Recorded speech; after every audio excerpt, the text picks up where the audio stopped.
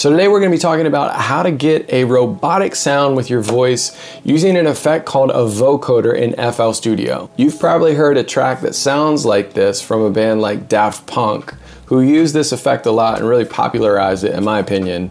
But I'm gonna show you how to make this almost robotic sounding thing from your own voice and using a simple plugin inside of FL Studio. So by the time you get done, you'll be able to add this texture to your songs and create a whole different layer of sound and a whole different layer to make your vocal sound more exciting in your music production. And I'm gonna show you how to do this with a very simple setup of a microphone, a plug-in, and a MIDI keyboard to create this texture for your own vocal production. So let's jump in.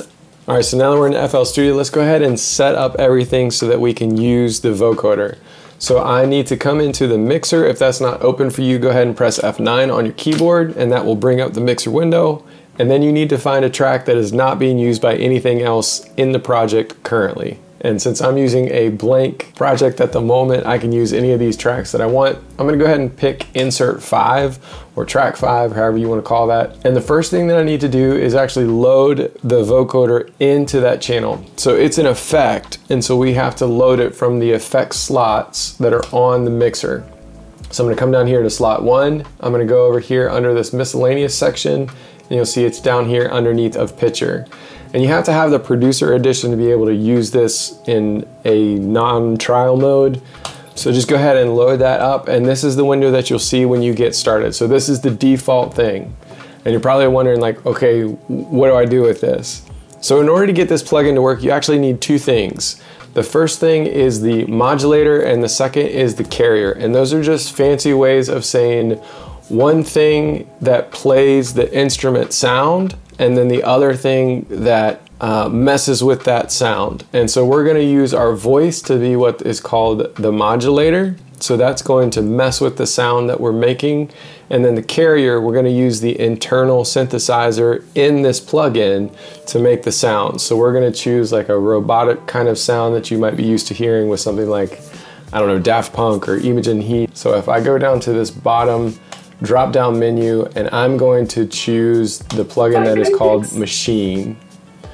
And so you heard it come up and it made that crazy sound, uh, say in vocoder or something like that.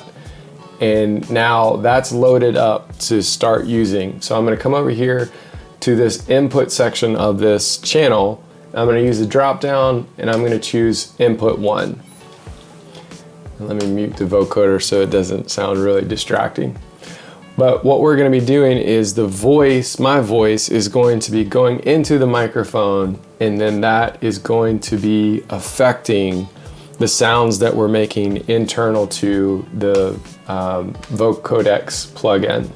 So I'm gonna be using my MIDI keyboard to trigger chords and then I'm going to use my voice to then uh, do some modulation on that. So check, check, check, check, check, check, check, check, check.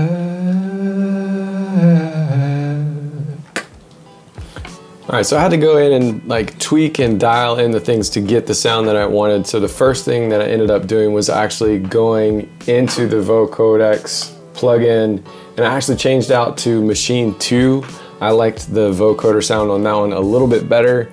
And then I just, I turned the carrier volume down. I turned this SG, which is the Soundgoodizer up. I turned the wet knob up a little bit. And then I just messed a little bit with some of these other settings. Uh, I think I turned this uh, carrier pass-through frequency up a little bit and did a couple other just minor adjustments. And then I'm playing the chords on the MIDI keyboard.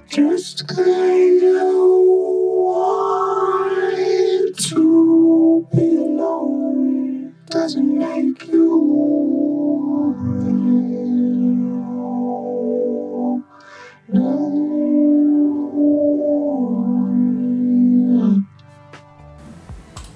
So I think you could use that in a really interesting way just to give some texture to a vocal or if you wanted to use that as the main thing, you absolutely could do that too. One way that I could see doing this is if you recorded a vocal part and then you just wanted to add some texture or uh, a layer underneath that to make it sound a little more full, to give it a little bit more ambience or something unusual to make it stick out a little bit more. I would probably record that underneath of what's happening in the melody.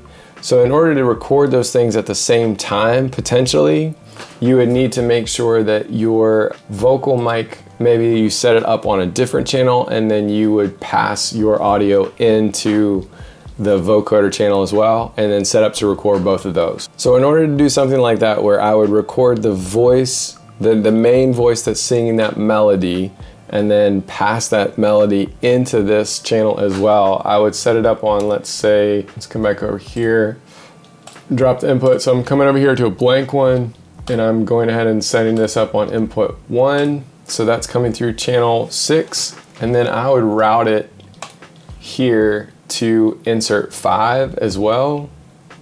And that way the voice would be by itself and then you would also have the vocoder. So you could record both those things at the same time if you had them both enabled.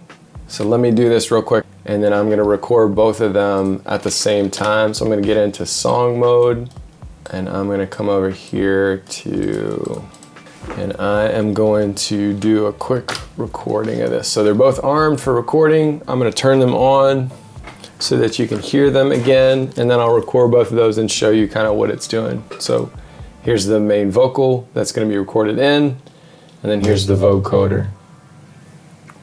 I never knew that you could be so cruel.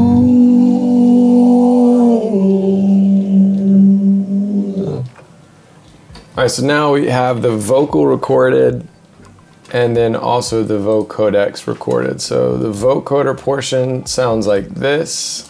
I never knew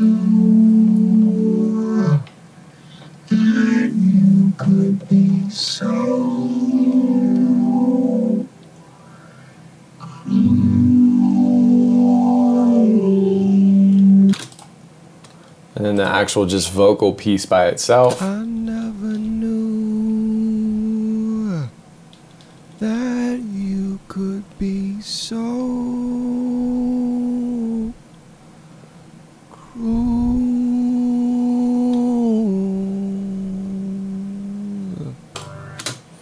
So it's just an interesting way that you could record a part of your vocal and then also just create this other texture underneath of that. Obviously you'd have to do some mixing to get your vocal sounding right. And I have a couple videos that you can check out.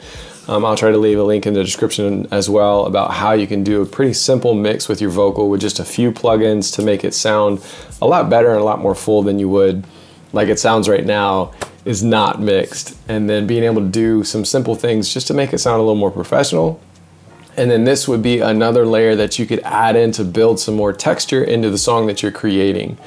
It can be really daunting when you're trying to figure out vocal mixing in general just because it feels very complicated. It feels like you have to understand a lot of different things. I've created a free cheat sheet for you to figure out how to do some basic vocal mixing to give yourself a little bit more of a professional feel to the vocals that you are putting together for your songs. If you'd like to get access to that, there's a link in the description below where you can download that for free. And if you aren't subscribed, go ahead and click the subscribe button below, turn on the notification bell so you can get alerted every time I post a new video on music production for songwriters and music producers, and I will see you in the next round.